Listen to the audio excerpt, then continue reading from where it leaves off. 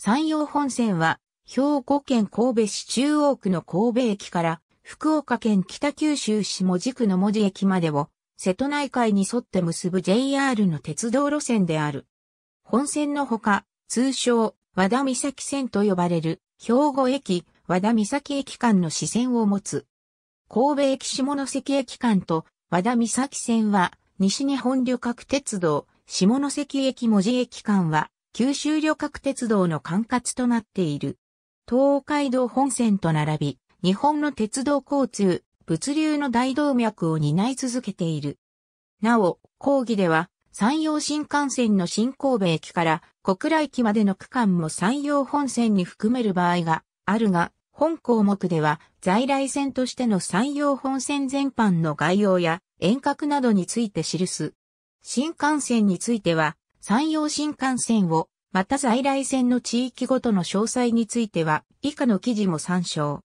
神戸駅を終点とする東海道本線を西に延長する形で、神戸から姫路、岡山、福山、広島、下関などの瀬戸内海沿いの各主要都市を経由し、北九州の文字に至る路線である。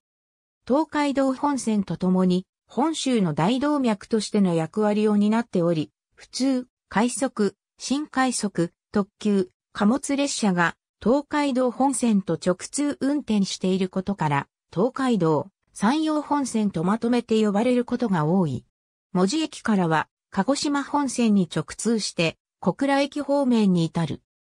かつては、東京や京阪神と中国地方、九州を結ぶ長距離旅客列車が運行されていたが、山陽新幹線の開業後は長距離旅客輸送の役割は同新幹線に譲り、並行する山陽本線の旅客輸送は地域輸送中心の体制に移行しており、全線を走行する定期旅客列車は存在せず、倉敷駅文字駅間には特急列車は走行していない。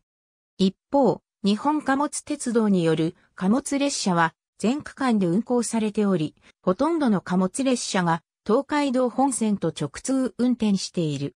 神戸駅姫路駅間には直通している東海道本線の大阪駅神戸機関とともに JR 神戸線の愛称が付けられている。大阪駅姫路駅間は、阪神間及び、兵庫県南部の都市間を結ぶ、主要路線である JR 神戸線として一体的な運行がなされ、基本的に姫路駅製とは大きく運行形態が異なる。また、神戸駅相生駅間と和田岬線が旅客営業規則の定める大阪近郊区間、神戸駅西明石駅間が電車特定区間に含まれる。神戸駅西明石駅間は、東海道本線の草津駅から続く複々線となっており、草津駅西明石駅間の複々線の距離は 120.9km と日本最長である。複々線区間では、主に新快速と特急、貨物列車が列車線を、快速列車と普通電車が電車線を走行する。西半の広島エリアの区間にある、瀬野八と呼ばれる瀬野駅八本松駅間は22.6パーミルの勾配と半径300メートルの究極線が散在しているため、スピードアップの大きな障害となっている。一部の区間は JR 西日本の IC 乗車カード、アイコカの利用エリア、及び JR 九州の IC 乗車カード、守護カの利用エリアとなっている。このうちアイコカの利用エリアは神戸木南岩国駅間と和田岬線である。他方、下関駅文字駅間が守護下の福岡、佐賀、熊本、大分エリアに含まれている。ただし、愛子下エリアと守護下エリアとを IC 乗車カードでまたがって利用することはできない。ラインカラーは JR 神戸線区間には JR 西日本のコーポレートカラーである青が設定されており、姫路駅生には特に設定されていなかったが、公式サイトの近畿エリア路線図には、姫路駅上郡駅間も JR 神戸線と同じ青で表現されていた。岡山支社では緑、広島支社では青がそれぞれ実車独自のラインカラーに設定されていたが、2014年度から路線記号の導入に合わせて広島支社エリアでも JR 西日本としての公式なラインカラーが設定されることになり、ラインカラーと路線記号として神戸駅上郡駅間に青 A、白市駅広島駅間に緑 G、広島駅岩国駅間に赤 R がそれぞれ設定された。このうち、海田市駅広島駅間は、呉線の列車が乗り入れるため、重複して、キワイが、広島駅横川駅間は、壁線の列車が乗り入れるため、重複して、青 B が付与されている。2016年3月26日からは、岡山支社エリアでもラインカラーと路線記号として三石駅岡山駅間に黄緑 S 岡山駅福山駅間に、大々 W、福山駅糸崎駅間に、空色 X がそれぞれ設定された。このうち、東岡山駅岡山駅間は、赤光線の列車が乗り入れるため、重複して赤 N が岡山駅倉敷駅間は、白尾線の列車が乗り入れるため、重複して緑 V が付与されている。なお、このダイヤ改正後に更新された公式サイトの全域路線図や岡山支社管内で運賃表を路線記号入りに更新した駅や2017年3月に案内表示の更新が開始された糸崎駅では既存の G 区間についても三原駅入りの駅間が包含され三原駅広島駅間を設定範囲としており R 区間は広島地区導入段階から南岩国駅も含まれている。ただし、これらの三原駅、入りの駅間の駅構内の旅客案内では、白市駅岩国駅間の各駅とは異なり、路線記号のアルファベットを抜いたカラーのみのシンボルを用いている。岩国駅下関駅間については2018年8月、現在で路線記号導入の予定はない一方で、公式サイトの広島エリアの路線図では2016年度の時点で岩国伊東の延長の形で赤で表現されていたが、2017年3月の壁線の延伸に合わせて、路線記号制定前に使用していた青による案内に戻された。この時点では、当該区間の駅構内の旅客案内で赤と青が混在していたが、2018年3月のダイヤ改正までには青に統一されたほか、岩国駅については新駅舎共用と同時に区間のカラーを区別するようになった。JR 九州区間においても2018年9月からラインカラー、駅ナンバリングが設定されており、鹿児島本線と共通のラインカラーか路線記号 JA を使うが、ナンバリングは鹿児島本線と独立して設定してあり、小倉駅を JA51 として下関駅へ向けて増加する。死者及び鉄道部の管轄は以下のように分かれている。上記のキロ数は柳駅経由のものである。岩国駅串木浜駅間を通過する場合の運賃、料金は最大経路である岩徳線経由として計算する。岩徳線の岩国駅串木浜駅間は営業キロ 43.7km、換算キロ 48.1km なので、神戸駅文字駅間の運賃、料金計算に用いる営業キロは 512.7km、運賃計算キロは 517.1km となる。須磨駅、塩谷駅間、東尾道駅三原駅間、宮島口駅近辺、岩国駅以西の山口県内では、瀬戸内海が車窓に迫る。最後は、下関駅の先で、海の下に潜って、再び地上に出るとそこは、九州である。山陽本線の起点でもあり、東海道本線の終点でもある。神戸駅は三面五線の構造になっており、上り線は二面三線の構造になっている。東海道本線から途切れることなくほとんどの列車が直通運転を行っている。神戸駅を出ると、東海道本線から引き続き方向別福福線で西へ進み、しばらくビル街の真ん中を貫くように走る。次の兵庫駅では、和田岬駅へ向かう支線の通称、和田岬線が接続する。和田岬線は、工場地帯の通勤線であり、平日でも朝夕の時間帯しか運行されていない。ホームも一面一線の単線路線で、兵庫駅、和田岬駅間のピストン輸送となっている。兵庫駅から新長田駅間で、方向別複複線が終わり、ここから先は線路別複複線となる。列車線が山側、電車線が海側になっており、列車線を新快速などの優等列車と貨物列車が走り、電車線を快速と普通が走っている。兵庫駅から明石駅まで列車線にホームはない。新長田駅は普通しか停車しないが、神戸市営地下鉄山手線と海岸線と連絡している。神戸貨物ターミナル駅が併設されている高取駅を出ると、列車線の上り線が合流して、阪神高速3号神戸線を潜る。少し走ると、須磨海浜公園駅へ。電車線のみにホームがあり、2面4線の橋上駅舎となっている。須磨駅付近では、海と山に挟まれた険しい地形の中を、山陽電気鉄道本線、国道2号と共に並走する。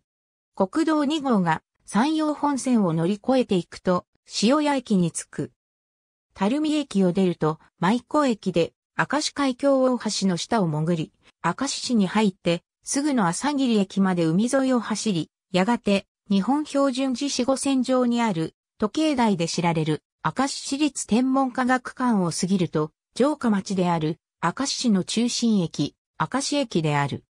この駅は2面4線の構造になっているが、線路別の構造になっているので同一ホーム上での環球接続はできない。東海道本線の草津駅から続いた複々線は、次の西明石駅で終わり、この先は伏線となってまっすぐ北西方向を向いて走る。住宅やマンションが建て込む明石の市街地を走り、二面四線の大久保駅。さらにまっすぐ走り、左手から山陽新幹線が近づいてきて、それを見ながら二面二線の魚住駅。魚住駅を出ると、山陽新幹線が左手に離れていき、線路はまっすぐ北西方向に走り、明石市と播磨町にまたがる二面三線の土山駅に着く。加古川市に入り、左手に加古川バイパスが並行するのを見て二面三線の東加古川駅、さらにまっすぐ北西方向を向いて走り、高架線を駆け上がり加古川の市街地を見て、加古川駅に着く。加古川を出るとすぐに、加古川を渡り、放電駅。この駅は、加古川市と高砂市の境にある。姫路バイパスが乗り越えて、右にカーブしながら、曽根駅。ここまでが高砂市で、この駅を出ると、播磨地方の中心都市、姫路市に入る。姫路別所駅、姫路貨物駅、五着駅を過ぎると、市川を渡り、東姫路駅を過ぎて、市街地に入り、姫路駅に至る。姫路駅は姫新線、万端線及び、万州阿古や上郡、岡山方面との乗り換え駅となっている。また、須磨駅明石駅間で並走し、明石市では、南側の沿岸部に進路を取った山陽電気鉄道本線も姫路駅北側に所在する山陽姫路駅に乗り入れている。姫路駅を出ると山陽電鉄本線をまたぎ、その後は南西方向にまっすぐに進んで山陽新幹線を潜りしばらく姫新線と並行する。姫路バイパスを潜ると、阿賀保駅。播磨勝原駅を過ぎ、次の阿保市駅は、姫路市の西端にあり、岡山方には、阿保市総合車両所が広がっている。阿保市駅を出るとしばらくまっすぐ走り、左手に広大な車両所が広がるのを見て進む。なお、阿保市総合車両所の所在地は、姫路市ではなく大市町となっている。車両所が途切れると林田川を渡り、山陽新幹線の高架が見えて、それを潜るとイボ川を渡る。イボ川を渡って、辰野市に入ると、辰野駅であるが、辰野市の中心駅は、姫新線の本辰野駅となっている。相生市に入って、山陽新幹線を潜ると、相生駅、左手に単線の赤光線が分かれていき、山陽本線は右にカーブして、再び山陽新幹線の高架と山陽自動車道を潜り、狭い山あいを行く。国道2号と並行して進み、赤穂市に入って、うね駅。うね駅を出ると右にカーブして、進路を北に取る。国道2号とは、離れて、国道373号と千草川に沿って進む。しばらくして、上郡町に入り、千草川を渡り、静急行線が分岐する上郡駅に到着する。現在は、京阪神、岡山から鳥取方面に向かう特急列車は、静急行線を経由している。この先、兵庫県と岡山県の県境を有する上郡駅三石駅間は、山陽本線内では、和田岬線に次いで列車本数の少ない区間であり、この区間を通る普通列車は、企画乗車券、青春18切符の使用可能期間中、京阪神方面と四国、広島、津山方面を往来する乗客で混雑することが多い。そのため、一部の列車で最大6から7両編成での運転も行っている。上郡駅を出て、上下線が地図急行線の単線の線路を挟んで進み、左にカーブして地図急行線が高架になり、それが山陽本線上り線を乗り越えて右手に分かれてゆく。ここから先は軽い峠越えといった感じで山を回り込むように走り、船坂峠を船坂トンネルで抜けると岡山県に入る。国道2号と並行して走り、三石駅。次は、備前市にある静谷学校に近い吉永駅。吉永駅を出て、日笠川や金剛川を渡り、和気駅。脇を出ると左手に山陽自動車道、右手に吉井川を見ながら進むと、熊山駅、吉井川を渡ると、岡山市に入り、万富駅。万富駅からしばらく西南方向に走ると、瀬戸駅でしばらく南に向かって進み、山陽新幹線の高架を潜って右にカーブして山陽新幹線に沿って西へ進んで上東駅に着く。東岡山駅で赤高線と合流して高島駅を過ぎると百軒川を渡り西川原駅。旭川を渡るあたりで岡山城が見え始めると津山線と合流し岡山駅に着く。岡山駅は津山線のほか、木備線と宇野線の起点であると同時に、運転系統上は白尾線と赤高線及び瀬戸大橋線の列車もほとんどが岡山駅を始発、終着としている。また、岡山電気軌道の路面電車との乗り換えも可能である。吉井川橋梁を走行する普通列車岡山駅を出て広大な車両基地を併設した岡山貨物ターミナル駅を過ぎると、北長瀬駅、庭瀬駅を通る。庭瀬駅を出ると家並みが途切れて、田畑が目立つようになる。岡山県倉敷スポーツ公園野球場の最寄り駅でもある中小駅を経て、右手に山陽自動車道の倉敷ジャンクションが見え、瀬戸中央自動車道を潜る。左にカーブして、西南方向を向いて走り、白尾線への下り線が分岐指向下になって、山陽本線を乗り越え、三線になって、ホーム三面五線の倉敷駅へ。岡山県第二の都市、倉敷市の中心駅である倉敷駅は白尾線が分岐し、駅の南西からは水島臨海鉄道が発着している。周辺には大原美術館や白壁の商家が並ぶ美観地区などの観光名所がある。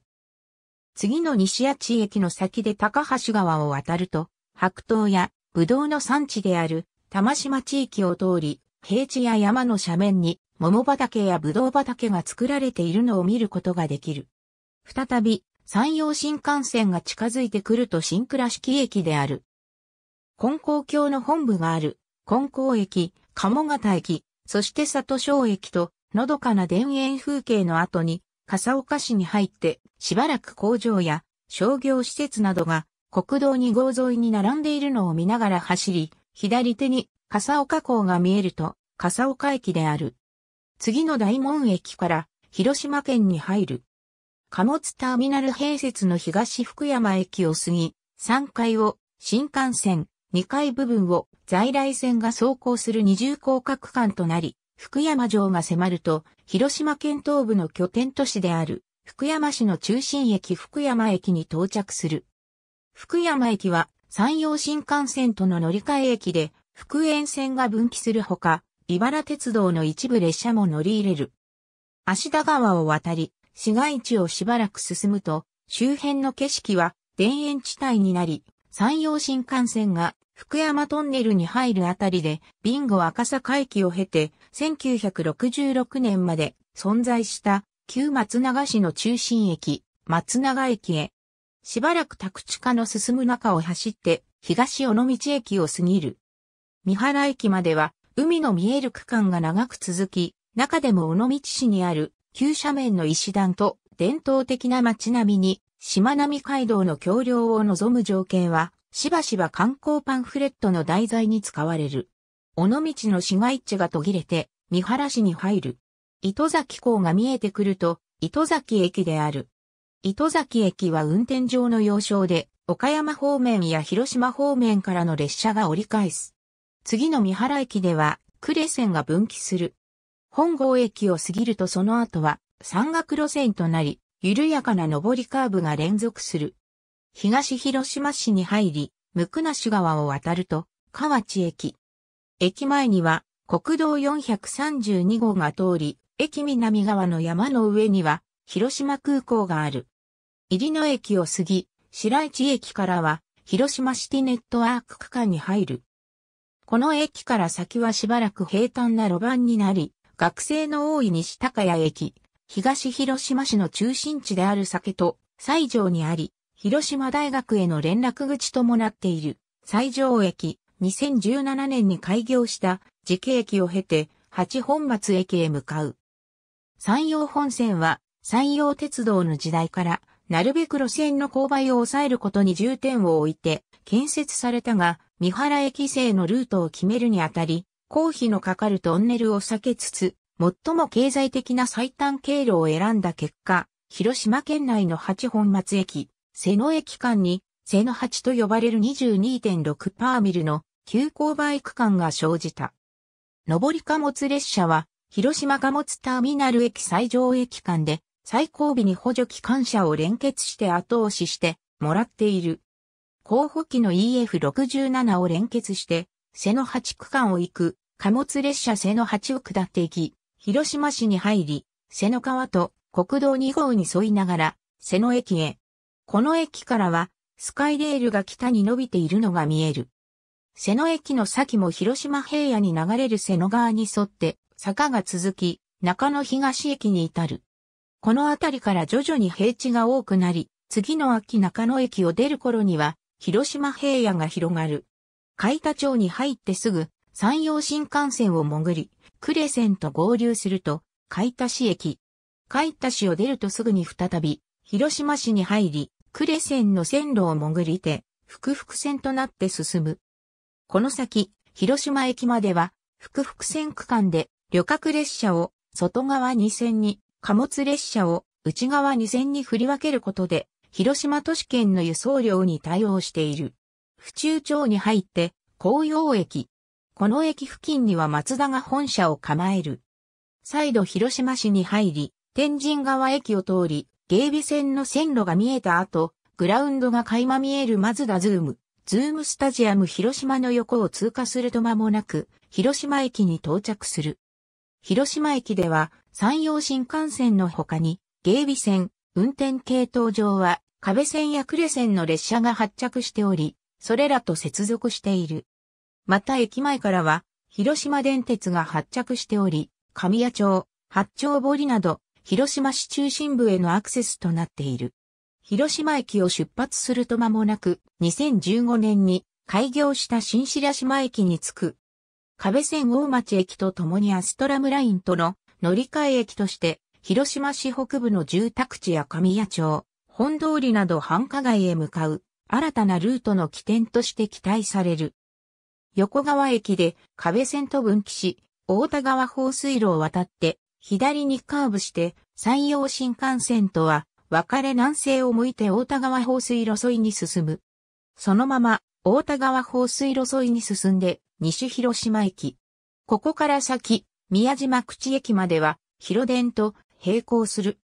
草津沼田道路を潜りて、広電の商工センター入り口駅が併設されている新井の口駅で八幡川を渡ると広電の広電五日市駅が併設されている。五日市駅、廿日市駅、区内串子駅を過ぎ、左手に広電、その向こうに国道2号、さらに向こうに海を見て南下していく。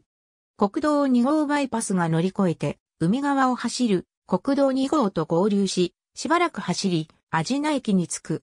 市街地と郊外の住宅地の風景が続くが、次第に海沿いの区間となり、車窓に世界遺産で日本三景の一つである秋の宮島が見えると、宮島口駅。宮島口駅を出ると、国道2号と並行して海沿いを進む。全空駅を過ぎ、右にカーブして内陸に入って、大野浦駅。広島県西端の工業都市、大竹市に入り、久保駅を過ぎ、コンビナート群が近づいてくると、大竹駅に着く。小瀬川を渡ると、山口県である。2008年3月15日は機長に開業した脇駅を過ぎ、岩国市の中心駅、岩国駅に到着。この駅は岩徳線との分岐駅で、この線に直通する西木川鉄道の車両も見られる。岩国駅から串毛浜駅まで岩徳線は山岳路線として山中を短絡するのに対し、山陽本線は海岸沿いを遠回りして走る。なお、山陽新幹線のルートはほぼ岩徳線に沿っている。徳山駅から先はカーブを繰り返す線形を取る区間が多い。宇部駅を出ると、朝駅までカーブを多く渡りながら、新幹線と合流。山陽野田市の中心地を過ぎていくと一旦、住宅地を抜け、再び街が構成され、小月駅に到着。調布駅を出ると、瀬戸内海と分かれ、山陽新幹線と垂直に交差する新下関駅を過ぎ、日本海側を経由してきた山陰本線と合流。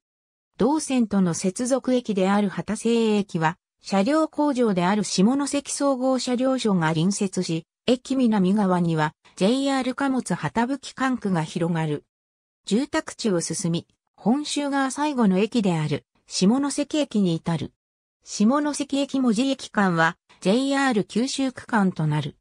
下関駅を出ると、車両基地である下関総合車両所、運用研修センターと貨物駅に挟まれる形で進み、運河を渡った先の彦島で、関門トンネルに入り関門海峡の元を通過する。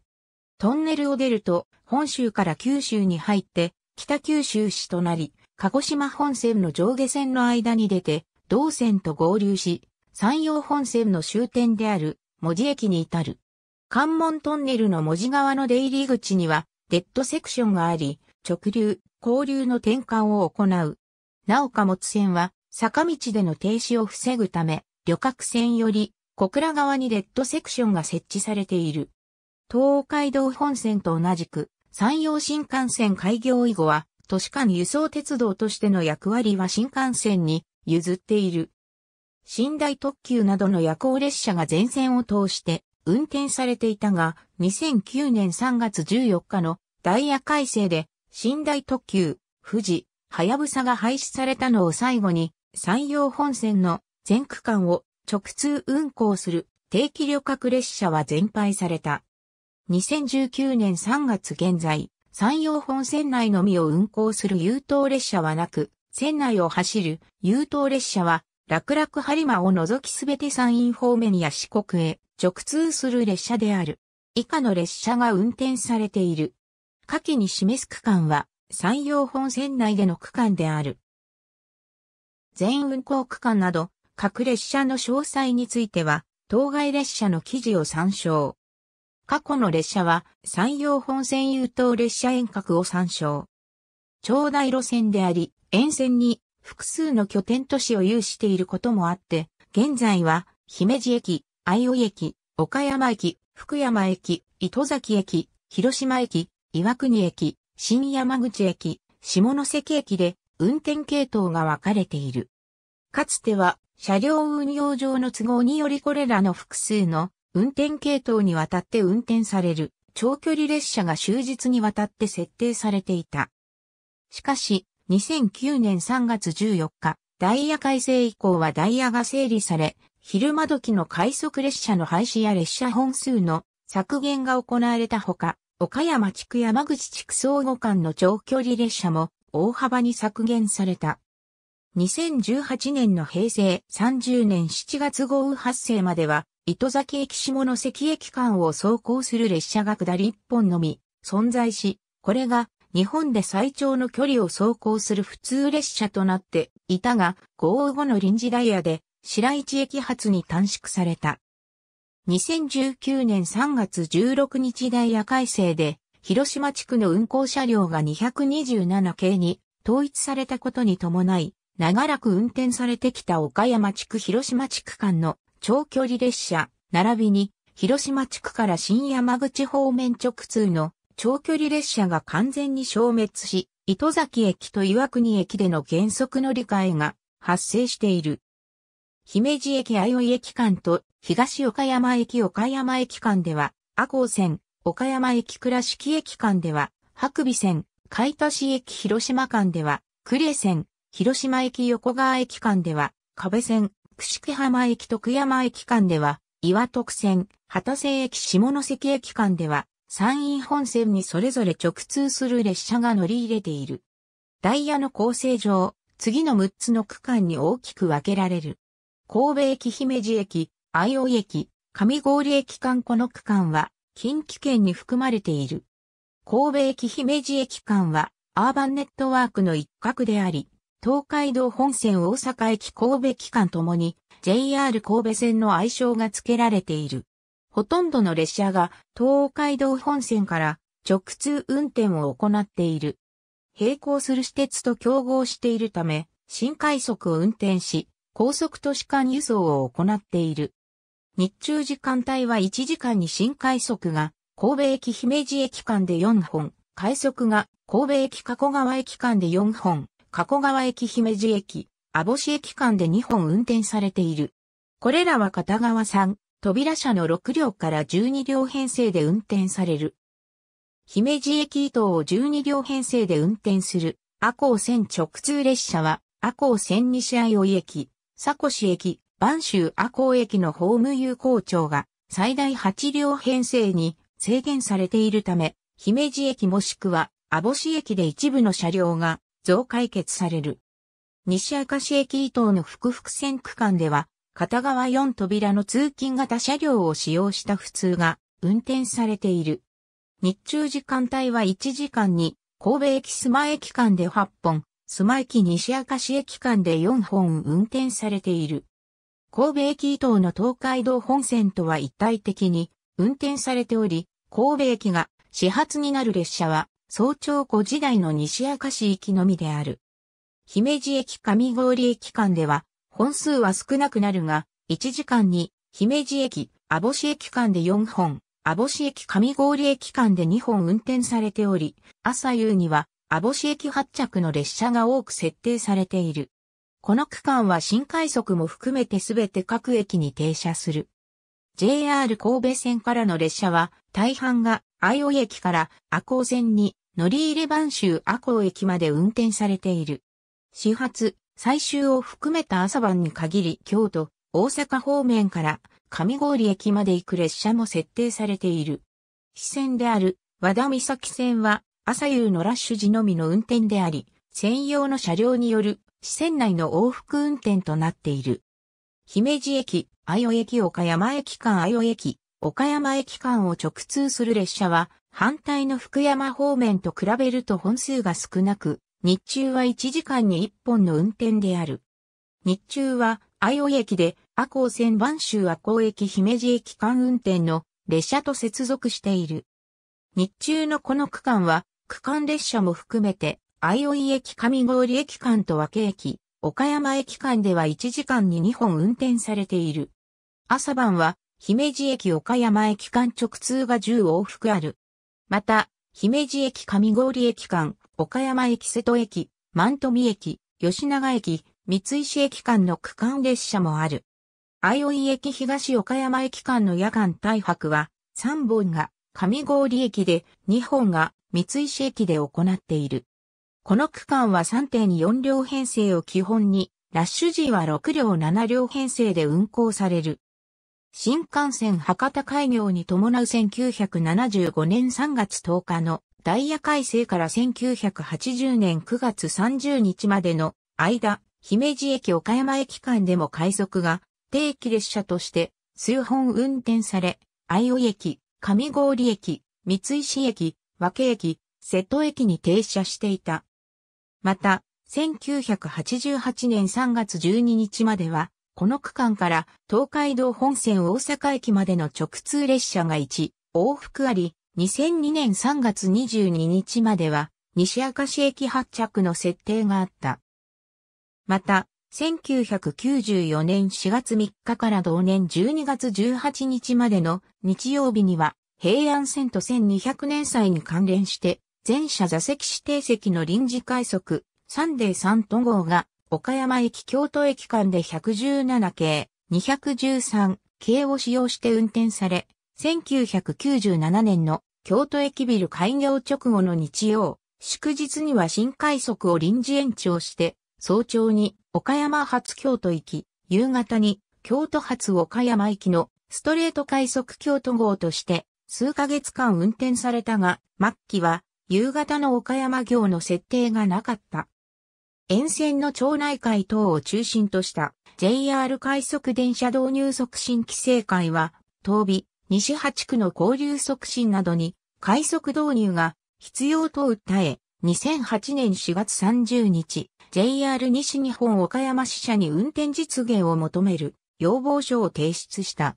JR 西日本岡山支社は、車両や運転手の数も限られ検討が必要としている。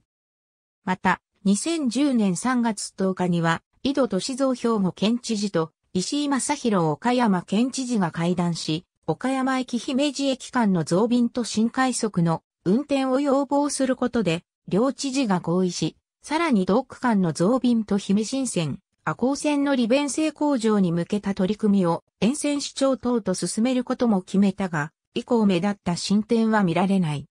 岡山駅福山駅、糸崎駅、三原駅間岡山駅糸崎駅間では、普通が1時間に3本、糸崎駅三原駅間では1時間に4本、運転されている。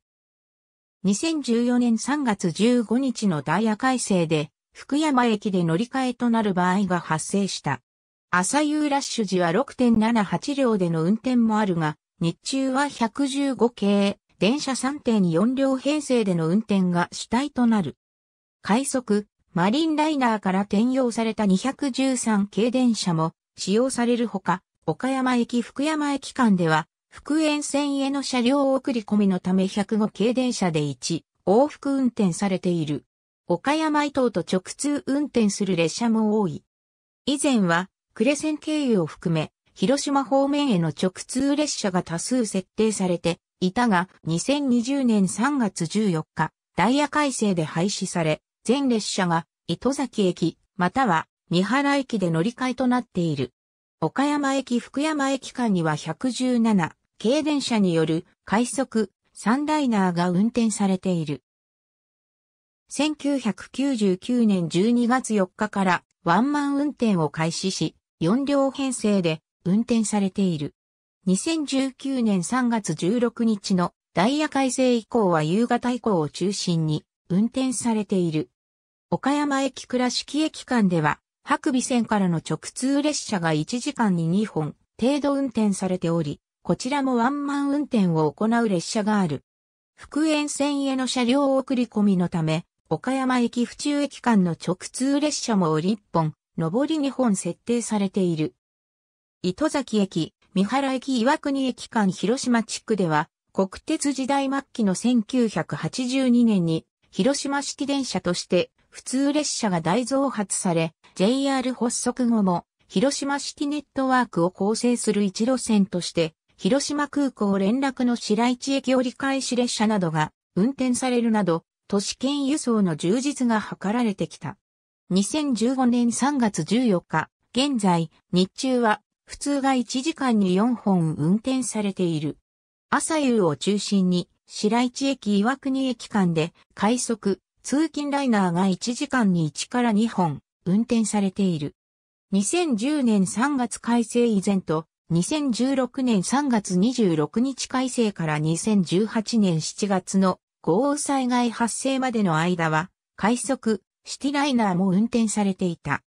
2012年3月のダイヤ改正により、通勤ライナーは西条駅広島駅間で早朝に3本、岩国駅広島駅間で早朝に2本に削減された。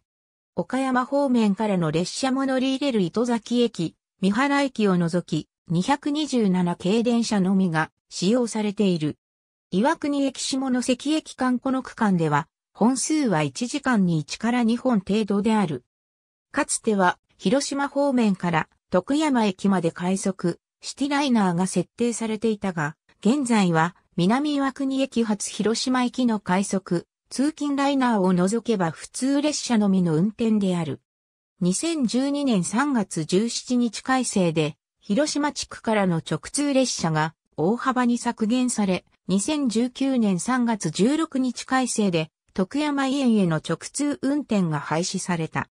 一方、徳山駅で系統分割される列車は減少し、岩国駅下関駅間を直通運転する列車が増加している。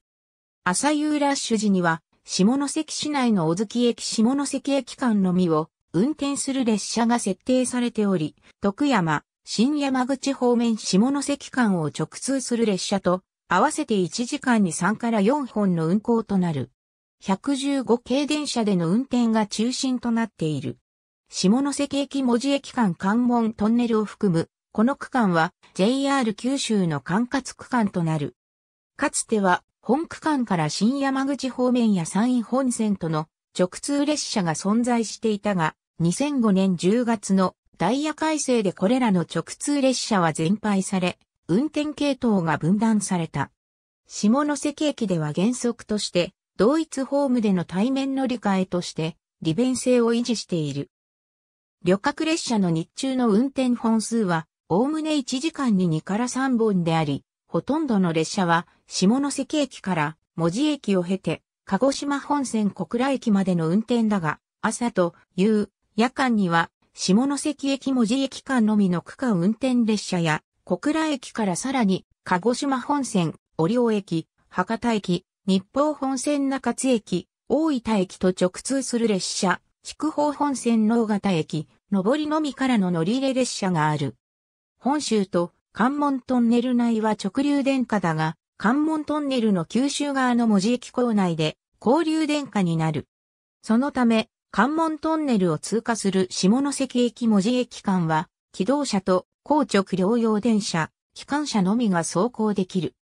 普通列車には JR 九州南福岡車両区及び大分車両センター所属の415蛍光直流電車が使用され、文字駅構内のデッドセクションで直流、交流の切り替えを行っている。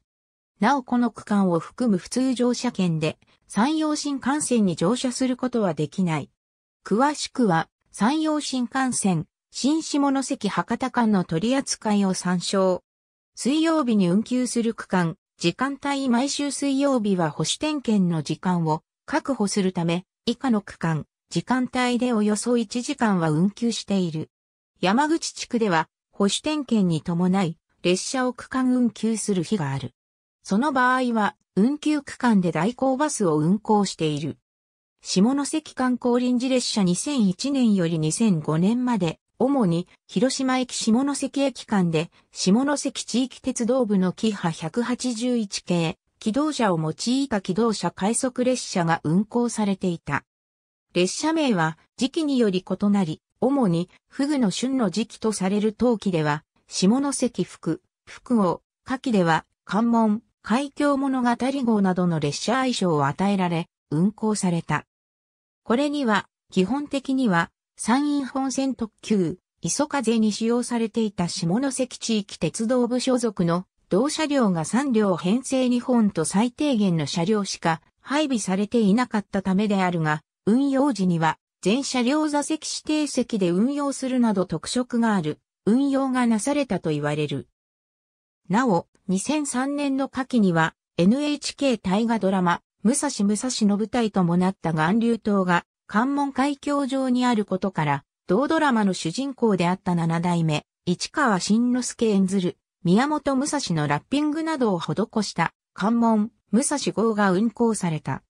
また、2015年には大河ドラマ、花もゆの放映を記念して、三石駅下関駅間でラッピング列車が運行された。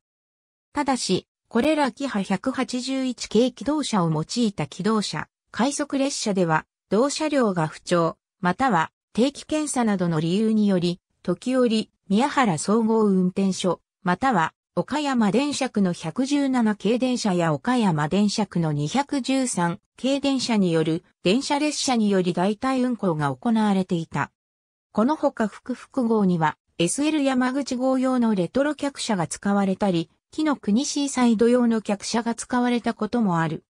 2005年の春の運行では、朝風の運用を離脱したばかりの下関、地域鉄道部下関車両管理室所属の24軽客車が使用された。岡山、下関町長距離普通列車2001年3月3日に山陽シティライナーが運転を開始して、以来、運転区間を年々拡大し、かつては下関発三石行きの普通列車があり、運行距離が 425.7km で、普通列車では日本最長であったの少し先から関西の一歩手前まで走行していたことになる。三石駅直通列車が廃止されてから2009年3月までは、下関駅岡山駅間を運行する列車が、普通列車では、日本最長の 384.7km になった。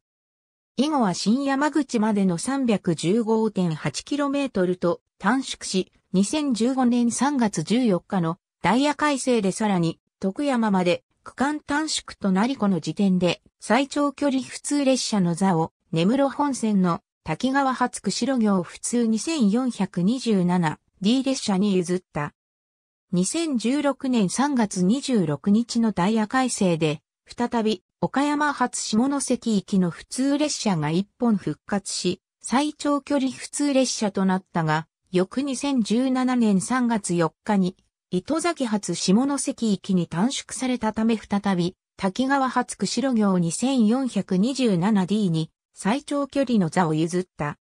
ただし 2427D は、根室本線が台風により一部区間が普通となっているため、新徳発釧路行きでの運転となっており、実際に運転している距離は 369M の方が長い。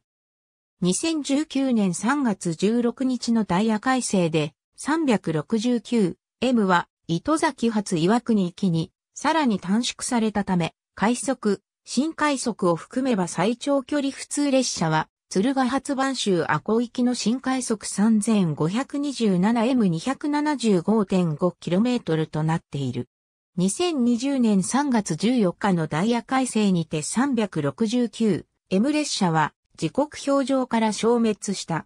和田岬線を除く全線で多くの貨物列車が運行されている。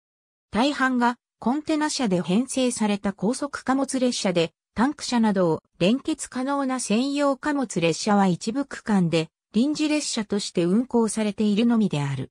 県引機は、旗製操車場伊藤では直流用電気機関車の EF65 系、EF66 系、EF210 系。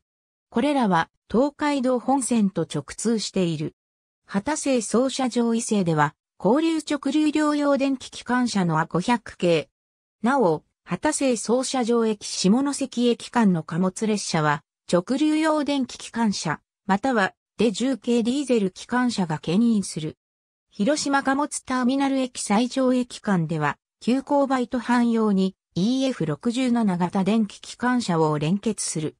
2013年初頭より、瀬の8と汎用に新造された EF210 系300番台での途半も開始された。また、神戸駅白尾線間は EF64 型電気機関車、岡山貨物ターミナル駅水島臨海鉄道間は、デ10系で70系ディーゼル機関車が牽引する。かつて運転されていた山口線ミニ線直通列車は DD51 系ディーゼル機関車が、宇部線ミネ線直通列車はで重系ディーゼル機関車が牽引していた。これらについては、直通先各線における JR 貨物の第二種鉄道事業が2014年4月1日限りで廃止されたため、現在は乗り入れていない。山陽線の貨物列車発着のある駅は、神戸貨物ターミナル駅、姫路貨物駅、岡山貨物ターミナル駅、東福山駅、広島貨物ターミナル駅、大竹駅、岩国駅、新南陽駅、宇部駅、下関駅である。平成30年7月号により、2018年7月以降は、広島県内で一部区間が1ヶ月以上、復旧できず、不通となっているため、白尾線、山陰本線、山口線経由での貨物列車の迂回運転が、同年8月28日から実施されている。他線への直通車両は、当該路線の記事を参照。以下に示す車両はすべて電車である。なお、アボシ車とは、アボシ総合車両所所属車、岡山車とは、岡山電車区所属車、広島車とは、下関総合車両所広島支所所属車、下関車とは、下関総合車両所運用研修センター所属車のことである。神戸駅から下関駅までは、私鉄の山陽鉄道の手により開通した。1888年に兵庫駅明石駅間が開業し、翌年に神戸駅、辰野駅まで開通。以後順次西へと路線が伸びて、1901年に馬関駅まで開通した。山陽鉄道は1906年、鉄道国有法により国有化され、関営鉄道山陽本線となった。現在の岩徳線が1934年に全通。距離の短い面、岩徳線が山陽本線に編入され柳井経由の従来線は柳井線となった。しかし現、岩徳線には当時の蒸気機関車牽引では運転上の障害となる長大トンネルが存在したことから、伏線川長大トンネルをもう一本掘るより、後期的にも有利な柳井経由で進められた。1944年に柳井線を含む神戸木下関駅間全線の伏線化が完成すると、柳井線を山陽本線に再編入し、岩国駅周防高森駅区敷浜駅間は岩徳線となった。下関駅から九州へは山陽鉄道時代から鉄道連絡線で連絡していたが、1942年に世界初の海底トンネルである関門トンネルが開通し、山陽本線は文字駅まで延長された。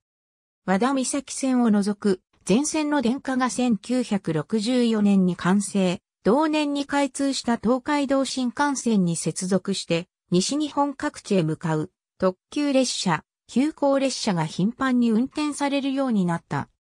その後、山陽新幹線が1972年に岡山駅まで、1975年に博多駅まで開業し、山陽本線を走っていたほとんどの優等列車が廃止された。以後、貨物列車と寝台特急の他は地域内輸送が主となっている。これに伴い、中線や副本線などの対比設備を廃止した途中、駅もある。また、貨物列車のために、宇部駅浅駅間が参線化され、本線をオーバークロスする珍しい線形が採用されたが、貨物列車衰退により、伏線に戻されており、コンクリートの橋梁と枕木のみが遺構として残っている。その他、新山口駅下関駅間では、送り込みも兼ねた機動車列車もあったが2006年に廃止となった。山陽鉄道鉄道員運輸通信省、日本国有鉄道民営開港、貨物専用駅、貨物取扱駅神戸駅姫路駅間、兵庫駅、和田岬駅間ここでは、駅名と主要駅のキロほどのみを記す。接続路線、快速停車駅などの詳細については、JR 神戸線駅一覧及び和田岬線駅一覧を参照。うちは、起点からの営業キロ、姫路駅上郡駅間上郡駅、岡山駅間岡山駅福山駅間福山駅、糸崎駅、三原駅間糸崎駅白市駅間上記以外の駅は JR 西日本の直営駅である。白市駅岩国駅間ここでは駅名と主要駅のキロほどのみを記す。